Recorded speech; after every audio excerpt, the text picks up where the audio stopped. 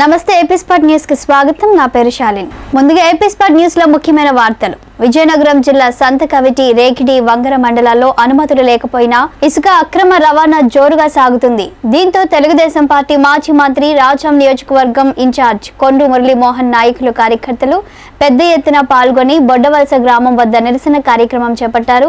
అనంతరం కోండ్రు మురళీమోహన్ మాట్లాడుతూ టీడీపీ హయాంలో అమలు చేసిన ఉచిత ఇసుక విధానాన్ని వైసీపీ ప్రభుత్వం గద్దెనెక్కి ఆ ఉచిత ఇసుక విధానాన్ని రద్దు చేయడంతో నలభై లక్షల మంది కార్మిక కుటుంబాలను రోడ్డున పడేయడంతో భవన నిర్మాణ కార్మికులు కుటుంబ పోషణ భారమై నూట ముప్పై మంది కార్మికులు ఆత్మహత్యలకు పాల్పడ్డారని ఈ ఇసుక మాఫియా మోసాలను దోపిడీని ప్రశ్నించినందుకు ఎందరో ఈ మాఫియాకు బలైపోయారని కోండ్రు వైసీపీ ప్రభుత్వంపై మండిపడుతూ ఈ వైసీపీ ప్రభుత్వ పాలనలో ఒక్క ఇసుకపై నలభై వేల కోట్లు దోపిడీ చేసిందని అలాగే అధికారికంగా కొన్ని ఇసుక రీచ్లు అయితే అనధికారికంగా సుమారు ఐదు వందలకు పైగా ఈ ఇసుక రీచ్లలో ఇసుక దోపిడీ జరుగుతుందని కానీ కళ్ళ ముందే ఈ అక్రమ ఇసుక రవాణా సాగుతున్న అధికారులు మాత్రం ఏమీ తెలియనట్టు వ్యవహరించడంపై ఆగ్రహం వ్యక్తం చేస్తున్నారు.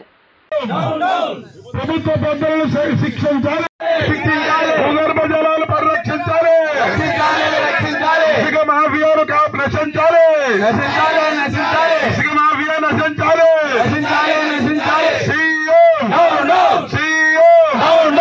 పార్టీ నుంచి మరి అందరినీ గౌరవించుకుంటూ ఈ కార్యక్రమాన్ని కాసేపట్లో ప్రారంభించబోతున్నాం.